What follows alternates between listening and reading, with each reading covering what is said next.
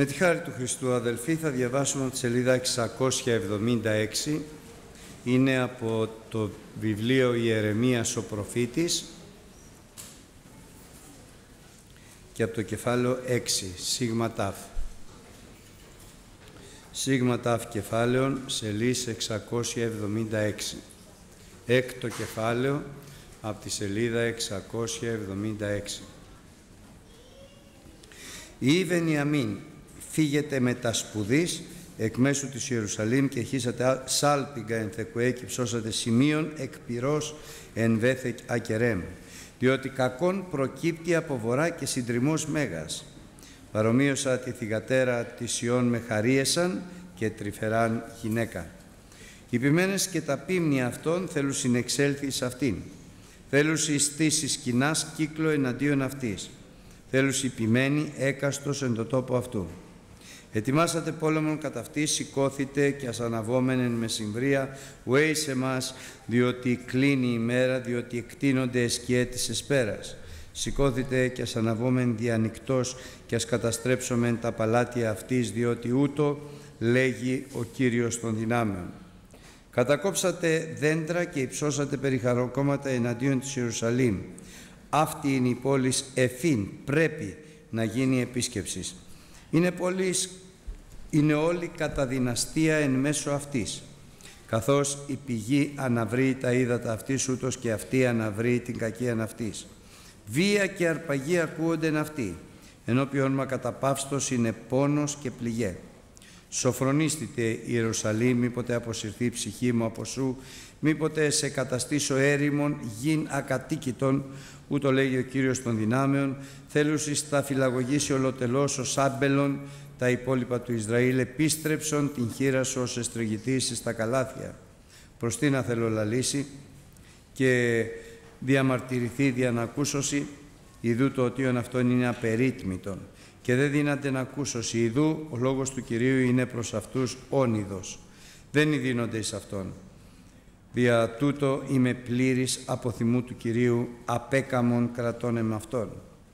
Θέλω εκχέει αυτόν επί τα νήπια έξωθεν και επί την σύναξη των νέων νομού, διότι και ο ανήρ θέλει πιαστεί μετά της γυναικός και ο λυκειωμένος μετά του πλήρους ημερών και εκεί αυτόν θέλουν υπεράσει εις άλλους και οι αγροί και οι γυναίκες ομού.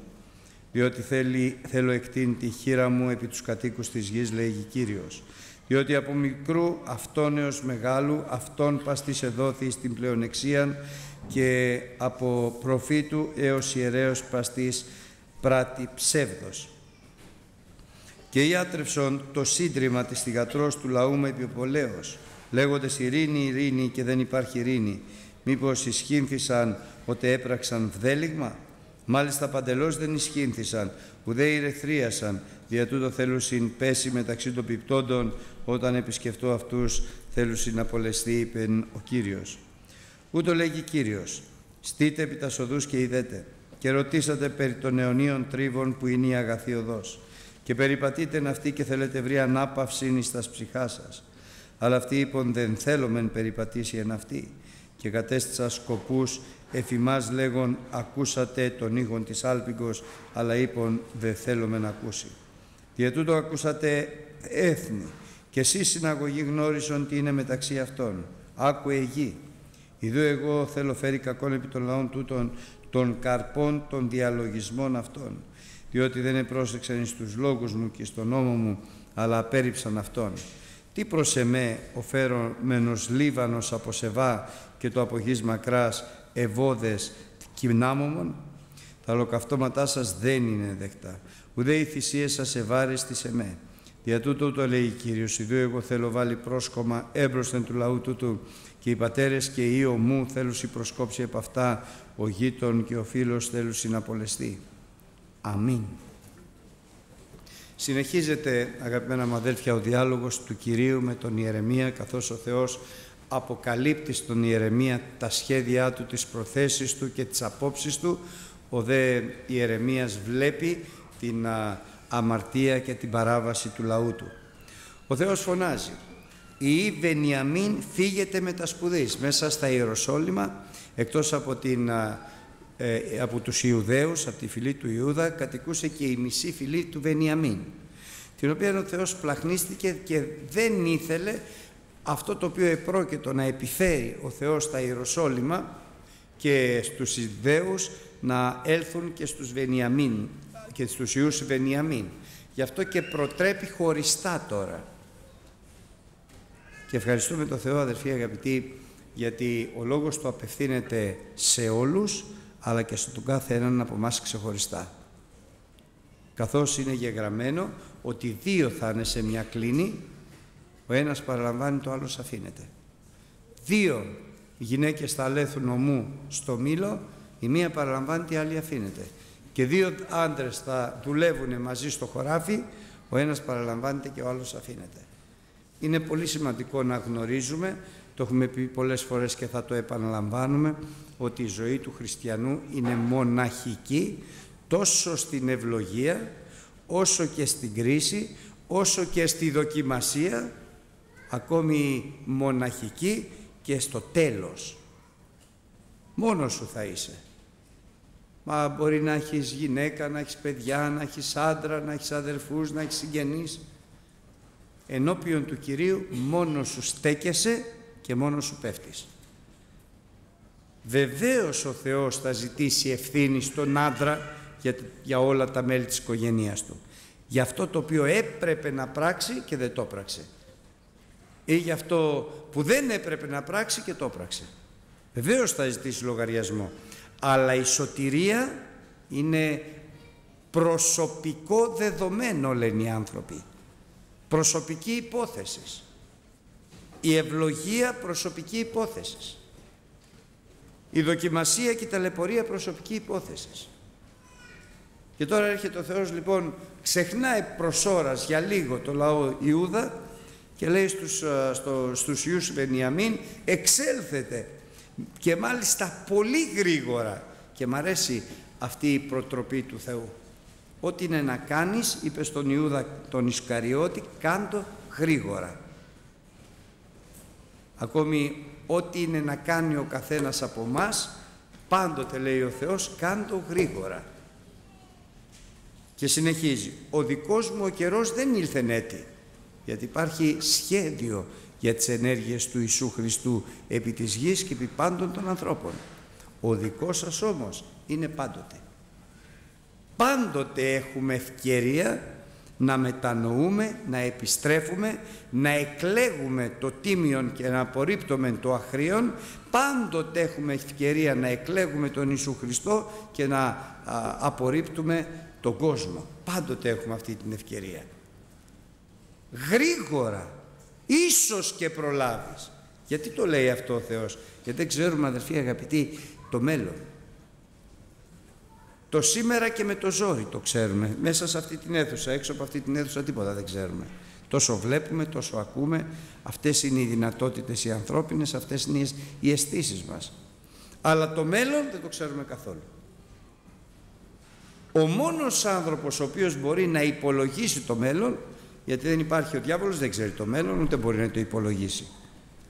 Επειδή δεν ξέρει πώς θα ενεργήσει ο Θεός. Ο μόνος άνθρωπος που ξέρει το μέλλον είναι ο χριστιανός. Και γιατί το ξέρει; Γιατί ο Θεός είναι πάντοτε συνεπής στο Λόγο Του. Να αρνηθεί το Λόγο Του δεν δύναται. Να αρνηθεί τον εαυτό Του δεν δύναται. Ό,τι είναι γραμμένο αυτό και θα εκτελέσει.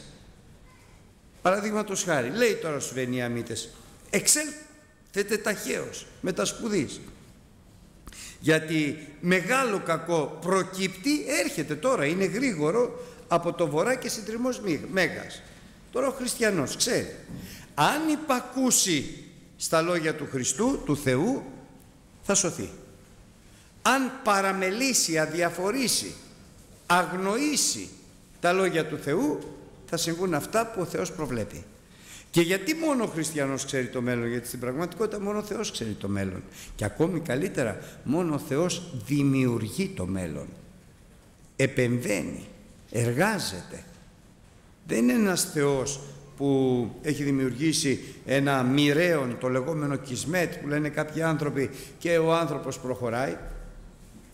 Είναι ένας Θεός που επεμβαίνει στη ζωή του ανθρώπου Κάποτε είχα ακούσει κάτι που μου άρεσε και το επαναλαμβάνω. Στην Παλαιά Διαθήκη ο Θεός έβλεπε τον άνθρωπο μέσα στο βάραθρο της αμαρτίας και του λέγε έλα έξω και να η σκάλα, ο δρόμος, το διέξοδο για να σωθείς. Και περίμενε να δει αν ο άνθρωπος θα μπορέσει να βγει. Κανένας άνθρωπος όμως με εντολές, με αποκαλύψεις και φανερώσεις δεν μπορεί να βγει. Στη Γενή Διαθήκη ο Θεός αποκαλύπτει ένα πρόσωπο που λέγεται Ιησούς Χριστός ο οποίος βλέπει τον αμαρτωρό μέσα στο βάραθρο της αμαρτίας μπαίνει μέσα του μιλάει πρόσωπο με πρόσωπο και του λέει αν θέλεις εγώ μπορώ να σε βγάλω έξω και αν ο άνθρωπος τον εμπιστευτεί θα τον πάρει στην πλάτη του έτσι λέει για το Απολολός πρόπατο θα τον πάρει στην πλάτη του με πολύ χαρά θα βγει έξω και θα φωνάζει παντού συγχαρείτε με βρήκα το πρόβατο μου του Απολολός πολύ μεγάλη διαφορά γι' αυτό είναι αναπολόγητος ο άνθρωπος που δεν δέχεται το Χριστό αναπολόγητος είναι αναπολόγητος ο άνθρωπος ο οποίος δεν επικαλείται το όνομα του Χριστού, δεν ζητάει βοήθεια από τον Χριστό, ο οποίος είναι βοήθεια, λέει η Γραφή, καταπληκτική ελληνική λέξη, ετοιμοτάτη πάντοτε. Ανόητος ο άνθρωπος. Έξελθε λοιπόν, εξέλθετε με τα σπουδής η Βενιαμίν γιατί έρχεται κακό στα Ιεροσόλυμα, στην πόλη Σιών. Και εγώ θα έλεγα απολογείται ο Θεός εξηγεί ο Θεός γιατί λέει στο Βενιαμίν έξελθε με, με τα σπουδής εκ μέσω της Ιερουσαλήμ αφού την Ιερουσαλήμ την έφτιαξε για τους Ιούς του Ιούδα και για το Βενιαμίν. Πρέπει να το εξηγήσει έρχεται κακό και δεν έρχεται κατά τύχη το κακό αλλά εγώ το επιτρέπω εγώ το φέρνω για κρίση στην Παλαιά Διαθήκη και για ταλαιπωρία γιατί εγώ παρομοίασα την θυγατέρα της Ιών, την Ιερουσαλήμ, την πόλη των εορτών ημών, την πόλη του Θεού του Ζώντος, με χαριτωμένη και τρυφερή κοπέλα. Έτσι την, παρο, την παρομοίασα εγώ. Όμως αυτή, αντί να έρθει προς εμένα, έστρεψε την πλάτη της. Έτσι μας βλέπει ο Θεός, πόσο μάλλον την Εκκλησία του αδελφοί. Δεν είναι χαρίεσα όπως γράφει και τρυφερά, αλλά είναι η αγαπημένη νύμφη του Ιησού Χριστού. Είναι η εκλεκτή του.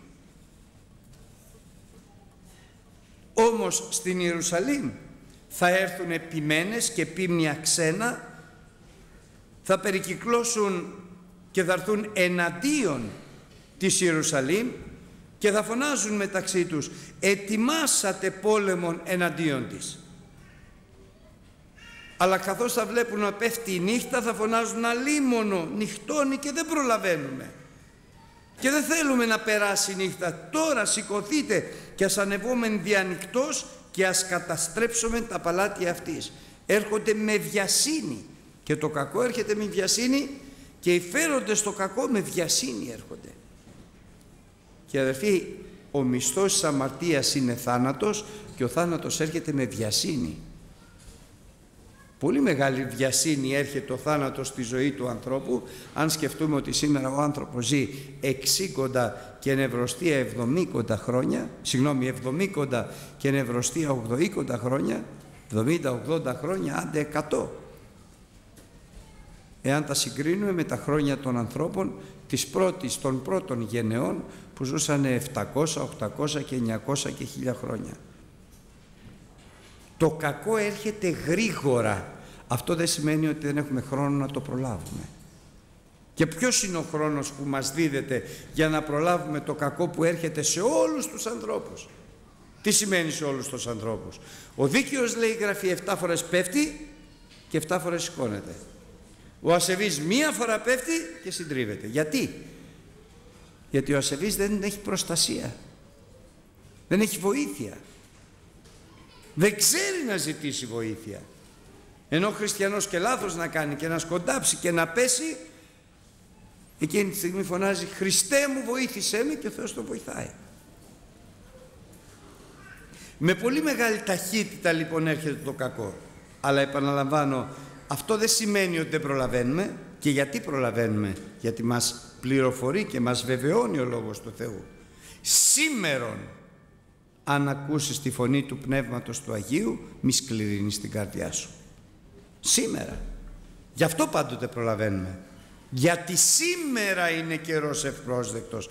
Σήμερα είναι η μέρα σωτηρίας. Σήμερα αν επικαλεστείς το όνομα του Χριστού θα σωθείς. Σήμερα προλαβαίνεις. Θα μου πεις αύριο, το αύριο δεν μας ανήκει αδερφοί. Το αύριο δεν το ξέρουμε. Το αύριο δεν είναι στα χέρια μας. Τίποτα δεν ξέρουμε.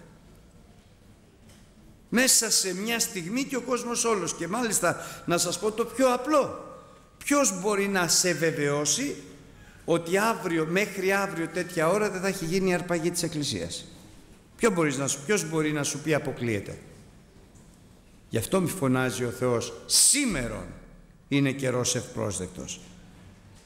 Γιατί ο Χριστός θα έρθει καθήν ώρα να δεν στοχάζεστε και δεν μιλάω για προσωπικές κλήσεις, για προσωπικά ατυχήματα, για ενέργειες και επεμβάσεις που κάνει ο Θεός ή ο άνθρωπος. Σήμερα είναι καιρός ευπρόσδεκτος. Και μάλιστα είναι τόσο επιτακτικό μέσα στο Λόγο του Θεού το σήμερον που μας βεβαιώνει ότι είναι αναγκαίο γιατί το κακό έρχεται ταχαίως. Και ο Θεός θα μας δώσει να το καταλαβαίνουμε αυτό. Τι να καταλαβαίνουμε τι δηλαδή. Αυτό που λέει ο Λόγος του Θεού. Η ψυχή μας βρίσκεται πάντοτε εν κινδύνο. Είναι πολύ σοβαρό να καταλαβαίνουμε, να συνειδητοποιούμε ότι το αύριο δεν μας ανήκει. Όταν κάποιος είναι νέος, 10, 15, 20, 30, 40 χρονών, δεν μπορεί να σκέφτεται το θάνατο. Όμως πολλές φορές έρχεται. Όταν κάποιος παντρεύεται δεν σκέφτεται το κακό, αλλά πολλές φορές χωρίζει. Όταν ξεκινάει μια δουλειά δεν σκέφτεται την αποτυχία, αλλά πολλές φορές καταστρέφεται. Γιατί, γιατί δεν ξέρουμε το μέλλον. Εκεί είναι που χρειαζόμαστε πρώτον τη βοήθεια του Θεού και δεύτερον πολύ σοβαρό τώρα. Εδώ και τώρα. Τώρα βοήθαμε Κύριε. Μάλιστα λέει πρέπει ο Όσιος να προσεύχεται εν καιρό προσήκοντι. Σε καιρό ε, έτοιμο, πρέποντα, σε καιρό που μπορεί. Γιατί υπάρχει περίπτωσης, πιθανότης, πολύ μεγάλη, όταν θα χρειαστεί να μην μπορεί να προσεύχεται. Όταν θα χρειαστεί. Ο Θεός να μας φυλάει. Βέβαια είναι μακρόθυμος ο Θεός και δίνει πάντοτε περιθώριο στον άνθρωπο. Θυμάμαι πριν από πολλά χρόνια, πιστός ήμουνα, στην αρχή της πίστης μου, γνώρισα έναν συνάδελφό μου, εγώ ήμουν νέος τότε, κάτω από 40 χρονών, πάρα πολύ υποτυχημένο.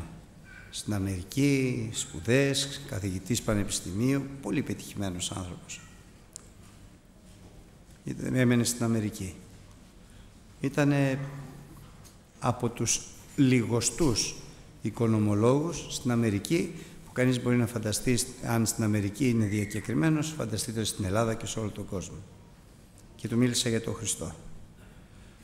Είπα ότι ο Χριστός σώζει, αγαπάει. Ήταν και ηρωνικός και άπιστος και επιθετικός. Ο Θεός είμαι εγώ. Ο Θεός είσαι εσύ. Είδες τι κατάφερα στη ζωή μου. Εγώ τα κατάφερα. Ξέρεις πως οι χριστιανοί δεν έχουν καταφέρει τίποτα. Και γιατί δεν τα κατάφεραν αυτοί; Και εγώ τα κατάφερα. Και τα επιχειρήματά του επειδή ήταν πραγματικά σοφός στον κόσμο άνθρωπος ήταν συντριπτικά. Δεν είχαν απάντηση. Γιατί για να απαντήσει κανείς τα επιχειρήματά του έπρεπε να απαντήσει διαπίστεως και για να δεχθεί τα επιχειρήματα τα δικά μου έπρεπε να πιστεύει. Γιατί ο χριστιανισμός είναι δόγμα πιστεύω ή δεν πιστεύω ότι ο Θεός έγινε άνθρωπος και ήρθε στη γη για να πεθάνει για τις αμαρτίες μας και για να σωθεί για την δικαίωσή μας. Ή το πιστεύεις ή δεν το πιστεύεις. Μπορώ να σου το αποδείξω εγώ. Ο Θεός βέβαια μπορεί να σου το αποδείξει. Αλλά ο άνθρωπος δεν μπορεί.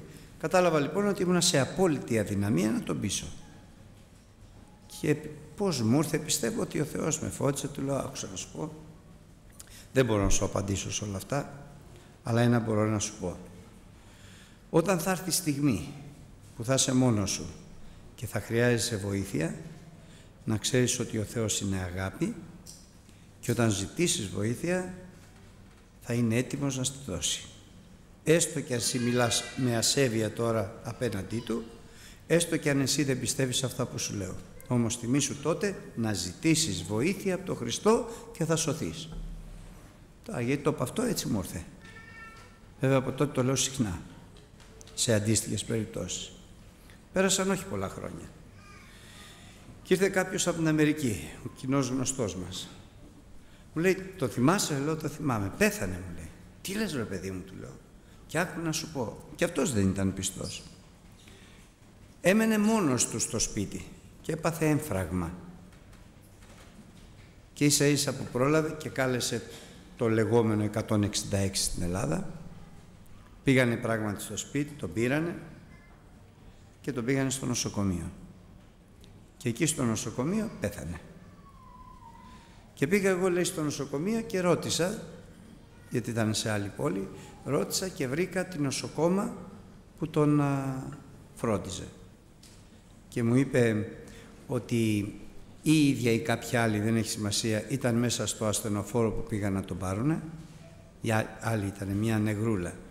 Ήταν μέσα στο ασθενοφόρο και σε όλη τη διάρκεια του ταξιδιού του ασθενοφόρου που κράτησε, ξέρω εγώ, ένα τέταρτο μισή ώρα, του μίλαγε για τον Χριστό. Και αυτός φώναζε «Χριστέ μου σώσε με». Και όταν έφτασε στο νοσοκομείο πέθανε. Και λέω τι ωραία. Αυτός με τα βεβαιότητας είναι στον ουρανό. Μακάρι να πάμε κι εμείς αδερφοί. Μακάρι να μπούμε κι εμείς. Πόσο καλός είναι ο Θεός. Μα πέθανε τόσο νωρίς. Ε, δεν ήταν και πολύ νωρίς εδώ που τα λέμε. Όταν είσαι πάνω από 50 χρονών δεν είναι νωρίς. Άντε όταν είσαι πάνω από 60. δεν είναι πολύ νωρίς. Εντάξει, άμα είσαι 20-30 είναι νωρίς, αλλά πάνω από 60 δεν είναι νωρίς. 60, 65, 70. Όμως ήρθε το κακό. Στην πραγματικότητα δεν είναι κακό. Καλό ήταν, αδελφοί. Καλό ήταν. Αυτός είναι ο Θεός. Το κακό έρχεται ταχαίως. Και η αρπαγή της Εκκλησίας θα είναι ή πολύ καλό ή πολύ μεγάλο κακό. Γιατί αν μεν λάβουμε μέρος στην αρπαγή της Εκκλησίας και ο Κύριος φωνάζει έρχομαι ταχαίως, θα είναι το μεγαλύτερο καλό που μπορεί να γίνει στη ζωή μας. Αν όμως δεν λάβουμε μέρος, εκείνο που έρχεται ταχαίως είναι η εφταετία του Αντίχριστου. Άρα λοιπόν τώρα να ξέρουμε ότι θα έρθει για μας ή ο Χριστός ή ο Αντίχριστος. Γι' αυτό είναι να είμαστε έτοιμοι. Πότε, σήμερα. Τώρα είναι καιρός ευπρόσδεκτος. Τώρα είναι η μέρα σωτηρίας. Όμως συνεχίζοντας ο Κύριος μας αδερφοί λέει κάτι που πρέπει να του δώσουμε πολύ μεγάλη σημασία σήμερα γιατί μας αφορά. Διότι, εξηγεί, ούτω λέγει ο Κύριος των δυνάμεων, κατακόψατε δέντρα και υψώσατε περιχαρακώματα εναντίον της Ιερουσαλήμ.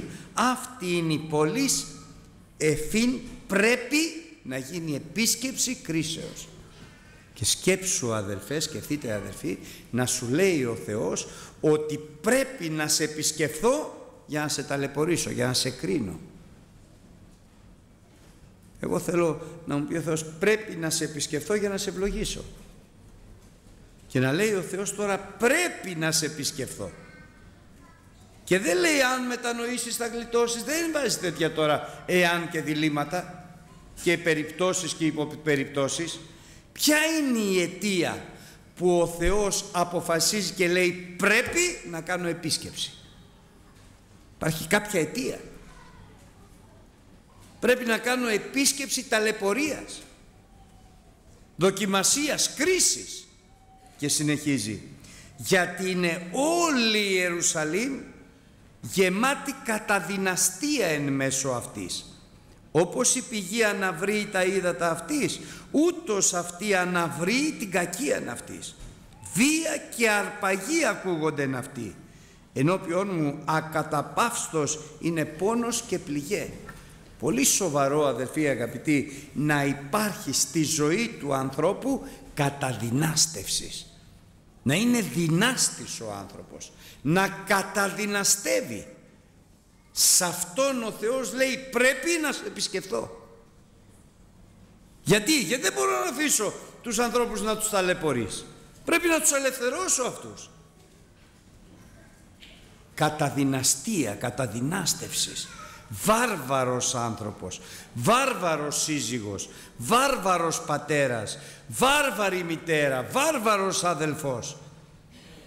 Με βαρβαρότητα, με αγριάδα, με κακία.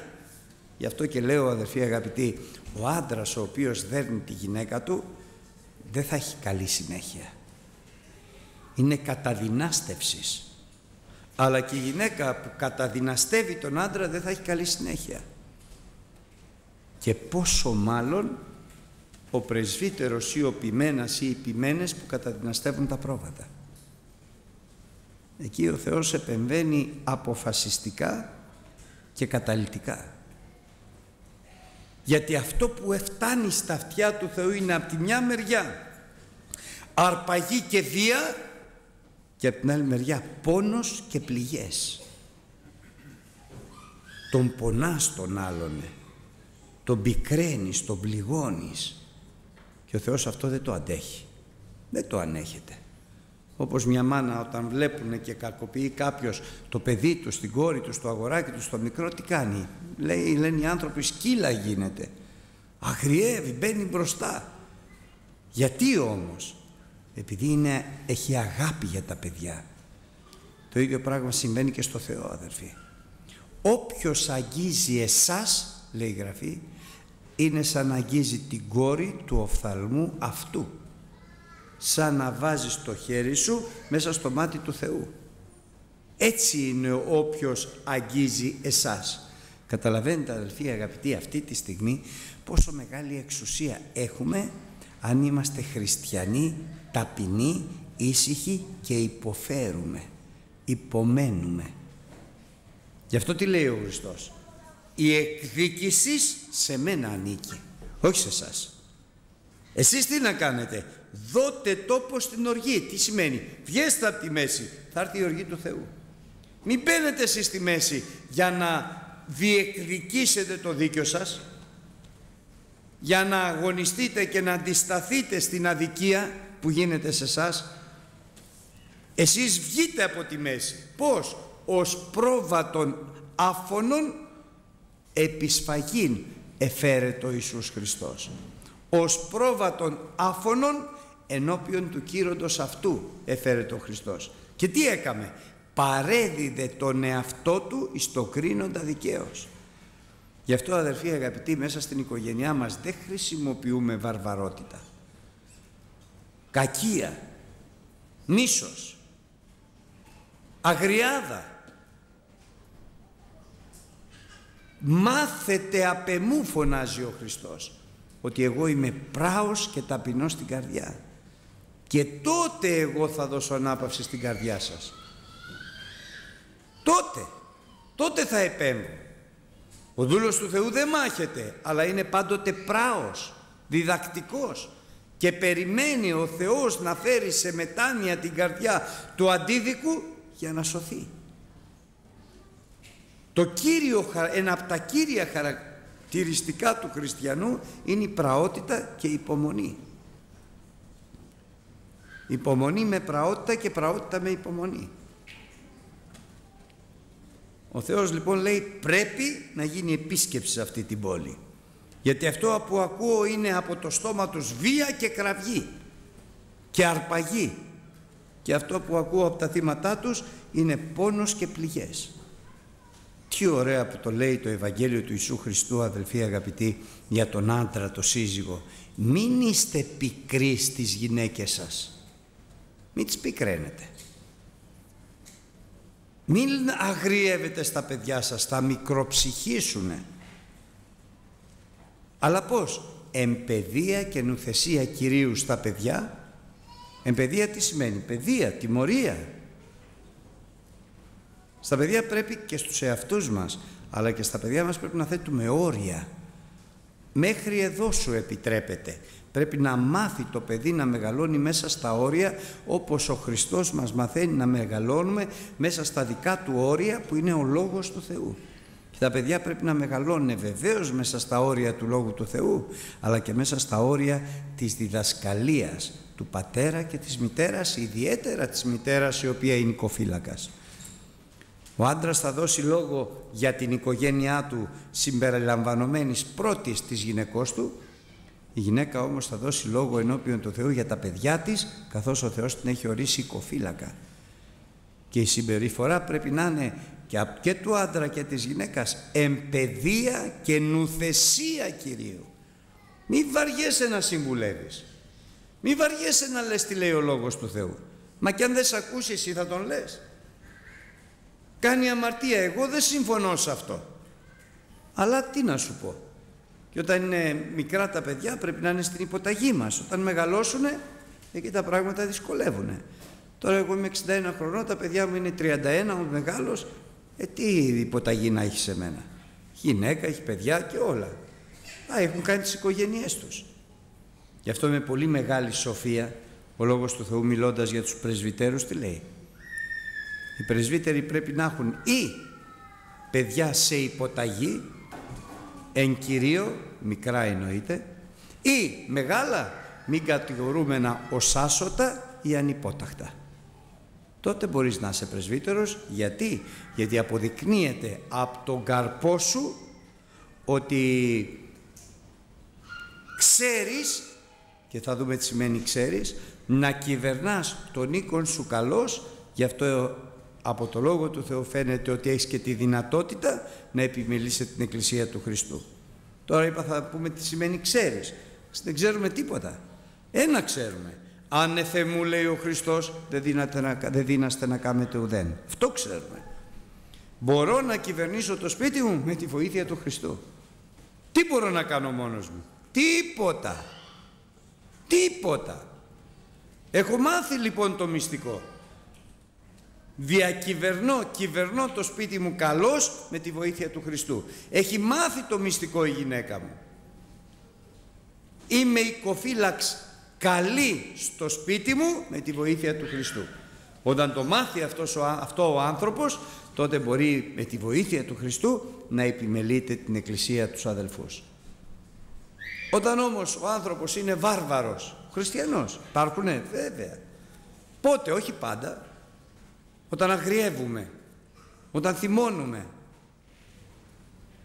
όταν υπερηφανευόμαστε, αυτό ισχύει βέβαια και για τις γυναίκες. Θυμώδης γυναίκα λέει είναι φοβερό μέσα στο σπίτι. Έχει κάτι μια ωραία παροιμία την οποία δεν θυμάμαι καλά. Λέει καλύτερα γυναίκα κάτι λέει φτωχή δεν θυμάμαι παρά οργή, ε, οργή, οργισμένη, κακομαθημένη, φωνακλού. Γυναίκα πρέπει να έχει πράον και ησύχιον πνεύμα το οποίο είναι βάρεστον στο Θεό αλλά και ο άντρας να είναι πράος και ταπεινός στην καρδιά. Ύστερα από όλα αυτά έρχεται ο Θεός τώρα με μια ωραία συμβουλή. Συμβουλή με ουσία. Σοφρονίστητη λοιπόν η Ιερουσαλήμ. Μην είσαι ανόητος. Μην είσαι άφρον. Και ποιος είναι ο άφρον; Πρώτον, υπό άφρον εν την καρδία αυτού δεν υπάρχει Θεός. Δηλαδή δεν φοβάμαι το Θεό. Δηλαδή δεν λογαριάζω το Λόγο του Θεού. Δεν λογαριάζω το θέλημα του Θεού. Μην είσαι άφρον.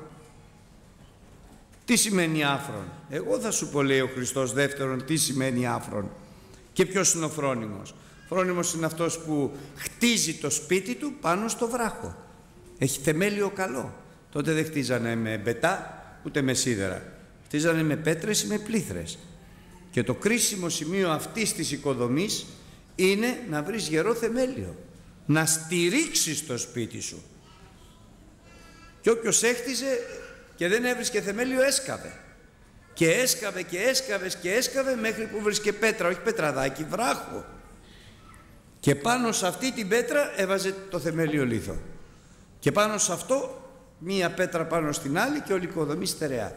Το αποτέλεσμα; Θα έρθουν γιατί μέσα σε μια οικογένεια, στη ζωή μας, σε όλα, στη δουλειά μας, στην υγεία μας, στα παιδιά μας, θα έρθουν οι άνεμοι, θα έρθουν οι ποταμοί, Θα έρθουν οι αέριδες.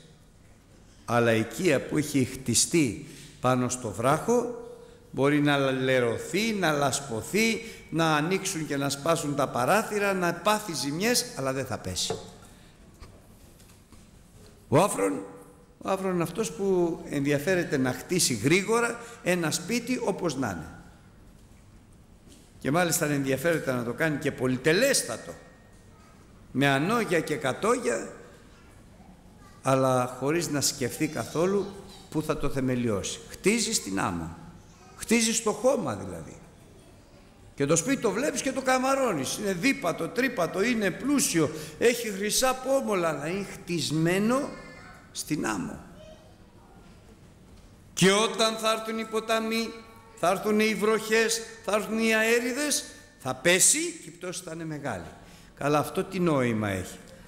Βλέπεις μια οικογένεια φτωχική, δύο νέα παιδιά. Ξεκινάνε και δεν έχουν όπως λένε οι άνθρωποι στον, ήλιο, στον ήλιο μοίρα. Έχω δει εγώ τέτοια παιδιά. Τίποτα δεν έχουν. Μια δουλειά με το ζόρι που ίσα ίσα φτάνει το 80% του, του, της δουλειάς αυτής του μισθού είναι το νίκη και με το 20% ζούνε. Πώς να ζήσουν οι άνθρωποι; Ζούνε όμως. Αλλά και ζούνε και αυξάνονται και ευλογούνται και μεγαλώνουν και πλουτίζουν και κάνουν παιδιά και πάνε και στον ουρανό.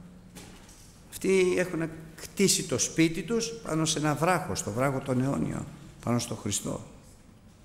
Δεν κινδυνεύει αυτό το σπίτι. Δεν έχω δει το δίκαιο εγκαταλελειμμένο. Δεν είδα το παιδί του δικαίου να ζητάει άρτο. Ο Θεός φροντίζει τους αδύναμους ανθρώπους. Ε, δια τούτο με έχρισε δια να κηρύξω το Ευαγγέλιο του Χριστού στους φτωχούς γιατί στους φτωχούς, γιατί είναι αδύνατοι. Στις χείρες, στα ορφανά. Αυτοί λοιπόν χτίζουνε και το σπίτι μεγαλώνει. Αυξάνει, πλουτίζει, ευλογείται. Να τώρα και ένα άλλο ζευγάρι. Πλούσιος ο γαμπρός, πλούσια η νύφη. Πρίκα ο γαμπρός, πρίκα η νύφη. Δεξιώσεις, παλάτια, Πα, τι γίνεται, αυτοκίνητα, μεγαλεία σε ένα χρόνο διαζύγιο λέει γιατί δεν τα βρήκανε; Τι θα πει δεν τα βρήκανε; Όταν ήρθαν οι ποταμοί δεν υπήρχε αντίστασης δεν υπήρχε φροντίδα δεν υπήρχε προστασία δεν υπήρχε φύλαξης και το σπίτι έπεσε. Και πάρα πολύ το, το, ωραία το λέει ο Λόγος του Θεού. Αν ο Κύριος δεν οικοδομήσει εικόν εις μάτιν κοπιάζουσιν οι οικοδομούντες. Και αν ο Κύριος δεν φυλάξει πόλην εις μάτιν αγρυπνούσι οι φυλάτοντες. Αυτό λέει τώρα εδώ ο Λόγος του Θεού με πάρα πολύ μεγάλη σοβαρότητα. Ο Θεός σοφρονίστητε τέλος πάντων Ιερουσαλήμ. Ποιος είναι λοιπόν ο φρόνιμος; Αυτός που όχι μόνο ακούει το Λόγο του Θεού αλλά και πράττει αυτό. Όχι μόνο πράττει αλλά και ακούει. Πού το ακούει το Λόγο του Θεού, εκεί που κηρύτεται. Και πού κηρύτεται, στην Εκκλησία. Η Εκκλησία του Χριστού η πρώτη και πάντοτε είναι γραμμένο ενέμενον προς καρτερούντες στη διδαχή των Αποστόλων. Στην κλάση του άρτου. Στην κοινωνία μεταλλήλων και στις προσευχές. Αυτή είναι η λειτουργία της Εκκλησίας. Η λειτουργία της Εκκλησίας είναι, δεν είναι να λιβανίζεις. Ο Θεός να με συγχωρέσει, δεν το λέω για να κατηγορήσω ή να κρίνω κανέναν. Η λειτουργία της Εκκλησίας ήταν αυτή που λέει η Γραφή προς καρτερούντες ενέμενον στην διδαχή των Αποστόλων ακούνε το Λόγο του Θεού και πράττουν το Λόγο του Θεού. Αυτός είναι ο φρόνιμος. Και όταν οικοδομήσει πάνω στο βράχο έρχεται ο Απόστολος Παύλος και λέει εγώ σαν σοφός αρχιτέκτον θεμέλιον έθεσα. Και τούτο δεν είναι άλλο παρά ο Χριστός. Εσείς τώρα από εδώ και μπρος εξετάζετε πως οικοδομείτε. Άλλος επικοδομεί με πέτρες συγγνώμη με χρυσάφι με ασίμι και με λίθους πολυτίμους άλλος οικοδομεί με, χορτια, με χόρτα, με καλάμια. Πράγματα που καίγονται που σημαίνει θα έρθει η φωτιά, θα έρθει η δοκιμασία. Και όταν θα περάσει από αυτό το οποίο έχει χτίσει που είναι χρυσάφια, σήμη και λίθη πολύτιμη, μη φοβάστε δεν θα πάθει τίποτα. Θα φύγει η φωτιά. Θα περάσει και θα φύγει και δεν θα γίνει τίποτα. Αν έχεις οικοδομήσει όμως με καλάμια και με χόρτα, τότε θα έρθει φωτιά και δεν θα μείνει τίποτα όρθιο. Αυτός είναι ο χριστιανός. Αυτό λέει ο Λόγος του Θεού εδώ. Σοφρονίστητε η Ιερουσαλήμ. Γιατί αν δεν σοφρονιστείς, η ψυχή μου θα αποσυρθεί από σου και δεν θα έχεις την προστασία μου. Και θα κατασταθείς έρημος και ακατοίκητος. Έρημος τι σημαίνει, μόνος σου. Μα δεν είπαμε ότι ο χριστιανός είναι πάντοτε μόνος του. Άλλη μοναξιά του χριστιανού που είναι με το Χριστό μαζί και άλλη μοναξιά του κόσμου, γιατί ο κόσμος είναι ο μόνος του, που είναι εντελώς μόνος του, μην πω ότι τριγυρίζει γύρω από αυτόν ο διάβολος και ο σατανάς. Μοναξιά από μοναξιά έχει διαφορά. Μοναξιά που ο Χριστός είναι μαζί σου, έχεις παρηγοριά, έχεις χαρά, έχεις βοήθεια, έχεις προστασία, έχεις παρέα. Δεν είσαι μόνος σου. Εγώ θέλω, θα είμαι μαζί σου πάσα στα σημέρα σε ως συντελείας του αιώνος. Κόσμο, η μοναξιά του κόσμου είναι φοβερή. Γι' αυτό οι άνθρωποι αυτοκτονούν. Τρελαίνονται. Τρελαίνονται. Ή ψάχνουν απεγνωσμένα να βρούνε παρέα και απογοητεύονται. Απελπίζονται. Σοφρονίστητε λοιπόν η Ιερουσαλήμ για να μην σε αφήσω έρημο αλλά ούτε και κατοίκητο. Θα πει ακατοίκητος. Κατοίκητος είναι πάρα πολύ σοβαρό πράγμα. Λέει η Γραφή, όταν λέει το πνεύμα το πονηρό βγει από το σπίτι, από την οικία, από τον άνθρωπο, θα επιστρέψει, θα δει τον οίκον σαρωμένον και δεν θα ξαναμπεί. Αλλά θα πάει να πάρει άλλα 7 πονηρότερα πνεύματα και τότε θα μπει μέσα σε αυτόν και η ζωή του θα είναι η έσκα, τα έσχατα χειρότερα από τα πρώτα. Μη μείνει ποτέ μη μείνουμε ποτέ στη ζωή μας ακατοίκητοι. Συγκάτοικος, κάτοικος να είναι ο Χριστός. Αυτό το σώμα αδερφοί αγαπητοί είναι, το έχουμε πει και θα το ξαναπούμε, ένα καράβι που κάνουμε τη ζωή μας. Το ταξίδι της ζωής μας. Αυτό είναι, με αυτό γεννηθήκαμε, με αυτό θα φύγουμε. Μα σε αυτό όλο δεν είμαι, δεν είμαι όμως σε αυτό το σώμα εγώ. Το εγώ μου είναι αυτό που είναι μέσα. Είναι ο εσωτερικός άνθρωπος. Ο αιώνιος, ο εξωτερικός είναι ο φθυρώμενος που γερνάει, αρρωσταίνει, διψάει, ζεσταίνεται, κρυώνει. Ο εσωτερικός άνθρωπος δεν καταλαβαίνει τίποτα από αυτά. Ο εσωτερικός άνθρωπος φθύρεται μόνο από την αμαρτία και από τη μοναξιά. Γι' αυτό να έχουμε μέσα μας ένα συγκάτοικο. Λέει ο Λόγος του Θεού, δεν εξέβρετε ότι είστε ναός του Θεού, γιατί το Πνεύμα το Άγιο κατοικεί μέσα σας. Και ο Χριστός είχε, είπε στους μαθητάς του, σε αυτόν τον άνθρωπο που θα με εξητήσει, εν αυτό θέλω μεν ελθεί, εγώ και ο πατέρας μου, και εν αυτό θέλω μεν κατοικήσει. Δια Πνεύματος Αγίου λοιπόν μέσα μας κατοικεί γιατί είναι τριάδα ομούσιος και αχώριστος. Κατοικεί μέσα μας ο Πατέρας, ο Υιός και το Πνεύμα το Άγιο. Σεις είστε ναός του Θεού, γιατί ο Θεός κατοικεί μέσα σας. Το σώμα λοιπόν αυτό είναι ναός του Θεού και είναι κατοικητήριο του εαυτού μου. Εγώ κατοικώ, αλλά είναι και ναός του Θεού γιατί κατοικεί ο Θεός. Αν όμως δεν κατοικεί ο Θεός, δεν λέω να κατοικεί ο διάβολος, να έχει γίνει κατάληψης, φοβερό, ο Θεός να φυλάει. Αλλά λέω το ίδιο, να είναι μόνος, έρημος και ακατοίκητος ο οίκος του ανθρώπου. Γιατί ο Θεός θα μας δώσει μετά από αυτό το φθαρτό κατοικητήριο, άφθαρτο κατοικητήριο, που είναι επιφυλαγμένο εν της ουρανής, το σώμα της Ανάστασής μας, το σώμα του ανεστημένου Χριστού, Πότε; Με την αρπαγή της Εκκλησίας, με την Ανάσταση των νεκρών. Όμως σε ποιους θα το δώσεις, σε αυτούς που είναι φρόνιμοι, σόφρονες. Γι' αυτό λέει ο Θεός, σοφρονίστητη η Ιερουσαλήμ. Γιατί αν αποσυρθεί η ψυχή μου από σένα και μείνεις μόνος σου, τότε θα, θα, θα κατασταθείς ακατοίκητος και έρημος.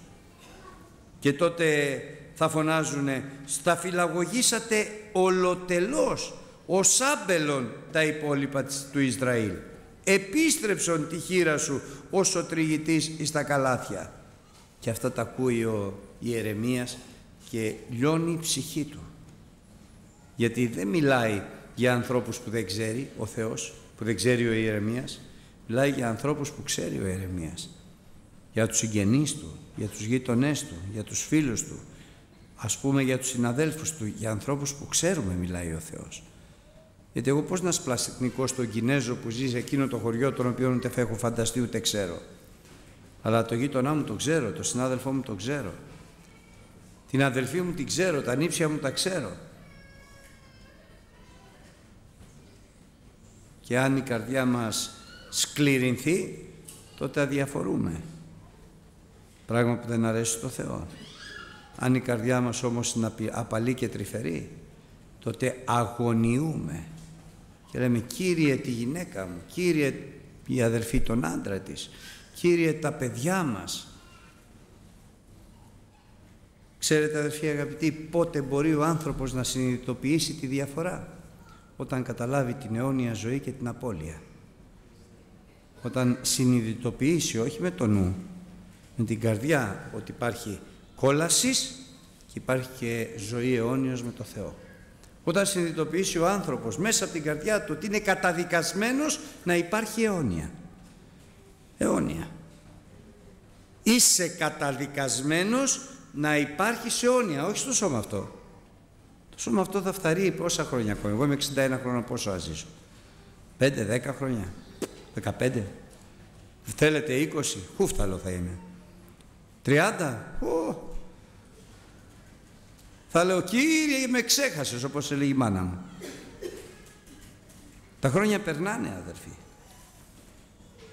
Αλλά είναι σπουδαίο να συνειδητοποιήσουμε ότι υπάρχει αιώνια ζωή μαζί με τον Χριστό και αιώνια απώλεια.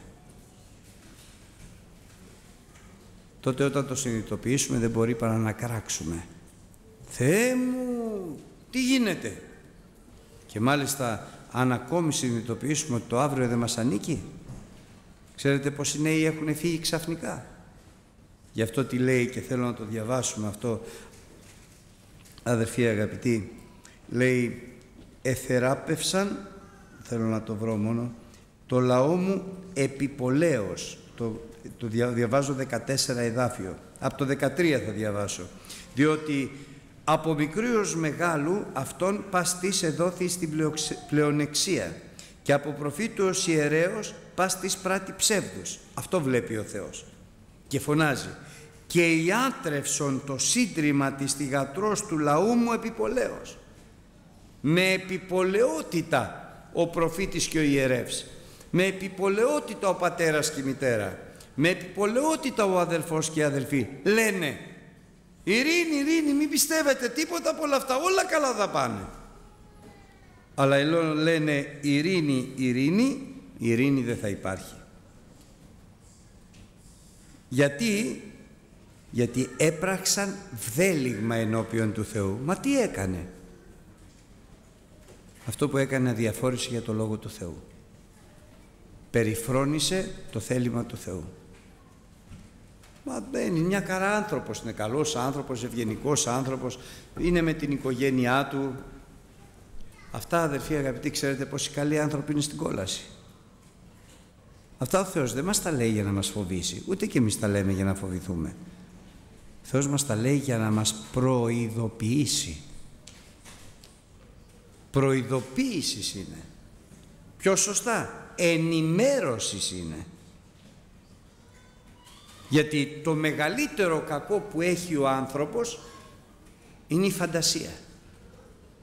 Ζει και περπατάει η φαντασία. Ξέρετε πώς το λένε; Ονειροπόλος. Όνειρα. Κάθεται, κοιμάται και σκέφτεται «Ε, θα γίνω βιομήχανος και θα έχω και εκείνο, θα κάνω και τ' άλλο και θα κάνω και τ' άλλο. Ή θα έρθω αυτή την κοπέλα που μου αρέσει, θα πάω να της μιλήσω, θα με ερωτευτεί, θα παντρευτούμε. Ή όνειρα, όνειρα, όνειρα, όνειρα, τα οποία βγάζουν τον άνθρωπο από την πραγματικότητα. Σε αντίθεση ο Λόγος του Θεού μας αποστρέφει, μας παίρνει το βλέμμα από τα όνειρα και μας δείχνει την πραγματικότητα. Και τι μας λέει; Ούτω λέγει Κύριος. Σταθείτε ενώπιον όλων των δρόμων που εμφανίζονται στη ζωή σας. Στη ζωή μας θα έχουμε πολλές επιλογές. Πρώτη, δεύτερη, τρίτη, τέταρτη, πέμπτη, έκτη, έβδομη. Λέει, τι σχολή να πέρασα, λέει, πήρα 19, ένα παιδί, τώρα πήρα 19, 400 τόσα μόρια. Μπαίνω λέει σε όποια σχολή θέλω, αλλά ποιο σχολή να πάρω; Δεν ξέρω ποια σχολή. Και ποιος θα του πει ποια σχολή; Μόνο ο Θεός αδερφοί. Ποια του ταιριάζει; Σε ποια θα τον ευλογήσει ο Θεός; Αλλά δεν είναι μόνο αυτό. Τι δουλειά θα κάνουμε στη ζωή μας; Έχουμε επιλογές. Και μάλιστα πάρα πολλές επιλογές, περισσότερες από δύο. Πολλές φορές και τρεις και πέντε και δεκαπέντε και εικοσπέντε. Και λέει ο Λόγος του Θεού, σταθείτε σε όλους αυτούς τους δρόμους. Δέστε, παρατηρήστε. Πρώτον. Δεύτερον, ρωτήσατε. Ζητήστε. Ψάξτε. Ποια από αυτές όλους τους δρόμους, από αυτούς όλους τους δρόμους είναι η αγαθή οδός. Και όταν τη βρείτε, περπατάτε σε αυτήν και θέλετε να βρει ανάπαυση στις ψυχές σας. Το ερώτημα δεν είναι αν τη βρούμε να περπατήσουμε. Αυτό θα το κάνουμε. Το ερώτημα είναι πώς θα τη βρούμε. Ποιος είναι ο δρόμος ο αγαθός; Πού είναι κρυμμένη η ευλογία; Ποιον να ρωτήσω, πού να ρωτήσω; Πιο πρακτικές ερωτήσεις. Τι να κάνω τώρα; Σε αυτή την κατάσταση, την καλή, την κακή, την άσκημη που είμαι. Τι να κάνω με το γιο μου, τι να κάνω με την κόρη μου, τι να κάνω με τον άντρα μου, τι να κάνω με τη δουλειά μου, τι να κάνω με τον συνάδελφό μου, τι να κάνω. Σταθείτε, δέστε, ρωτήστε. Και λέει ο Θεός, ποιον ρωτάτε; Και απαντάει αλλά αυτοί λοιπόν δεν θα περπατήσουμε σε αυτό το δρόμο. Δεν θα ακούσουμε τον Θεό. Δεν θέλουμε βρε παιδί μου. Δεν μας ενδιαφέρει ο Λόγος του Θεού δεν μας ενδιαφέρει η φωνή του Θεού δεν μας ενδιαφέρει η φωνή του Πνεύματος του Αγίου. Πόσες φορές δεν το έχω ακούσει αυτό. Αγαπητά μου πρόσωπα ε, παιδί μου ταλαιπωρείσαι. Ξέρεις πόσο εύκολο είναι να μεταφερθείς από την ταλαιπωρία στην ευλογία; Μία προσευχή είναι δεν θέλω ρε παιδί μάσε με πάλι τα δικά σου άρχισες. Εκεί δεν μπορείς να κάνεις τίποτα. Όταν ο άνθρωπος σου λέει δεν θέλω, ο Θεός δεν μπορεί να κάνει τίποτα, όχι εμείς. Αφού δεν θέλει άστονε. Άστονε, δεν θέλουμε. Αλλά είπον δεν θέλουμε να ακούσει. Και ο Θεός λέει τότε στη ζωή σας θα έρθουν τα αποτελέσματα των διαλογισμών σας ο καρπός της ζωής σας θα έρθετε. Αυτό που σπέρνετε, αυτό θα θερήσετε. Αν σπήρετε τσουκνίδες, τσουκνίδες θα θερήσετε. Αν σπήρετε αγκάθια, αγκάθια θα θερήσετε. Αν σπέρνετε στη σάρκα, τι θα πεις στη σάρκα; Νομίζω, η γνώμη μου είναι, εγώ πιστεύω και εν πάση περιπτώσει εγώ θέλω, τότε θα θερήσετε φθορά. Αν σπήρετε στη σάρκα θα θερήσετε φθορά. Αν σπήρετε στο πνεύμα, τι σημαίνει σπέρνω στο πνεύμα, στο πνεύμα το Άγιο. Στο θέλημα του Θεού, στο Λόγο του Θεού. Αν σπέρνετε στο πνεύμα, θα θερήσετε ζωή αιώνια.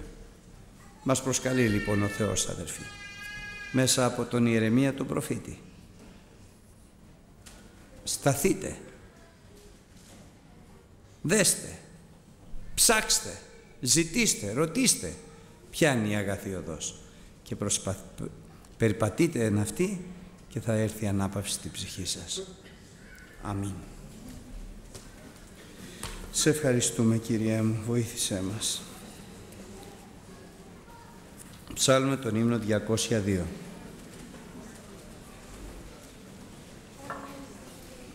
Ζούσα στη γη χωρίς παρέμβαση.